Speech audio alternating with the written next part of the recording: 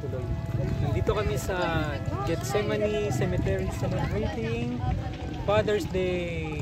Hello! Ma, may kayo ba? With our departed loved ones.